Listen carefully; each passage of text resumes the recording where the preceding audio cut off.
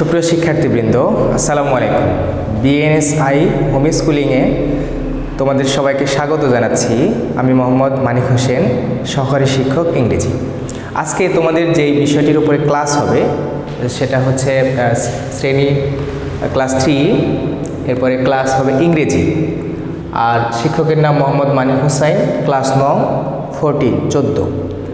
Facebook ID Manik Hossain mobile number zero one seven three eight seven five zero seven six four. আর আজকের তারিখ তোমরা সবাই দেখতে পাচ্ছ, সাত তিন দু হাজার একুশ।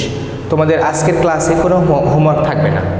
যাই হোক, আমরা আজকে যে বিষয়টি নিয়ে ক্লাস নেব, সেটি হচ্ছে যে ইউনিট পনেরো, লেসন এক থেকে পাঁচ পর্যন্ত। তো এখানে আমরা প্রথমে তোমরা দেখতে পাচ্ছ একটি ক্যালেন্ডারের একটি পাতা। যেখানে জানুয়ারি মাসের সব দিনগুলো দেওয়া আছে। প্রথমেই সেখানে আমরা কি দেখতে পাচ্ছি? যে এই মাসটাই প্রথমেই যেটা দেওয়া আছে যে, বিভিন্ন সপ্তাহের যে তারিখ বারগুলো দেওয়া আছে। Saturday, Sunday, Monday, Tuesday, Wednesday, Thursday, Friday. এই সাতটা বারের নাম এখানে দেওয়া আছে। আমাদেরকে সেটা প্রথমে মুখস্থ করতে হবে। এখানে দেওয়া আছে, তোমরা, তোমাদের সকলের কাজ হচ্ছে এই সাতটা দিনের নাম।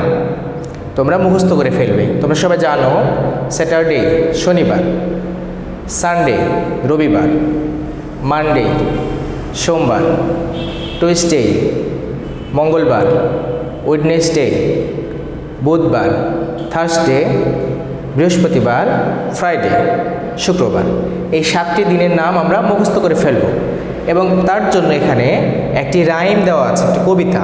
কবিতাটা সবাই দেখো Saturday Sunday Monday Tuesday Wednesday Thursday Friday raise your hand if you know the day সাতটি দিনের নাম এসেছে বলা আছে যে তোমার হাত ওঠাও যদি তুমি দিনের নামগুলো জানো। তাহলে আমরা এটা মুখস্থ করে ফেললেই সাতটা দিনের নাম মুখস্থ হয়ে যাবে। এবার আসো নিচে আক্স অ্যান্ড অ্যান্সার কোশ্চেন দেওয়া আছে। সেই প্রশ্নের উত্তরগুলো আমরা শিখব। প্রশ্নের উত্তরগুলোতে আমরা একটু এদিকে খেয়াল করি। সবাই এদিকে দেখো। যে প্রথমে কি বলা আছে? What day is it today যে আজকে দিনটা কি বা আজকে কি বার? তাহলে আমরা কি বলব? ইট ইজ যেই দিন, সেই দিনের নামটা বলতে হবে। তো আজকে যেহেতু রবিবার, ওই জন্য আমরা বলছি ইট ইজ সানডে কিন্তু যখন তোমরা পরীক্ষার খাতায় লিখবে, যেই দিন পরীক্ষাটা হবে, তোমরা সেই দিনের নামটা লিখবে। ওই জন্য আমি এটা ব্র্যাকেটের মধ্যে দিয়েছি।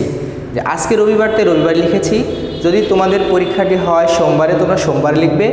যদি হয় মঙ্গলবারে, মঙ্গলবার লিখবে, যেই দিনটা হবে। তাহলে সেই দিন অনুসারে তোমরা এখানে এটা লিখবে। এরপরে, what day is it tomorrow? আগামীকাল কী বার? এটাও আজকের, যেহেতু রবিবার, সুতরাং সানডে, তাই আগামীকাল মানডে, এটা আমরা লিখেছি।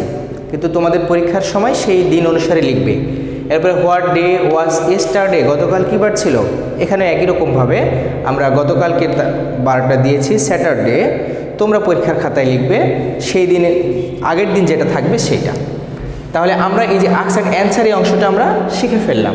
এবার এই- এই পাশে পেজ নাম্বার থার্টি ওয়ান, এখানে দেখো, একটা বছরে দু হাজার একুশ সালের পুরো ক্যালেন্ডারটা এখানে দেওয়া আছে, যেখানে বারোটা মাসের নাম জানুয়ারি থেকে ডিসেম্বর পর্যন্ত। এই বারোটি মাসের নাম সহ সব তারিখগুলো এখানে দেওয়া আছে। আমরা এই ক্যালেন্ডারটা দেখা শিখে নেব বাসায়। আর এখান থেকে যে প্রশ্নগুলো করা আছে আক্স অ্যান্ড অ্যান্সার সেখানে দেখো যে what month is it now এখন কোন মাস? তো এই এটা জানার আগে আমাদের কি সব মাসের নামগুলো জেনে ফেলতে হবে।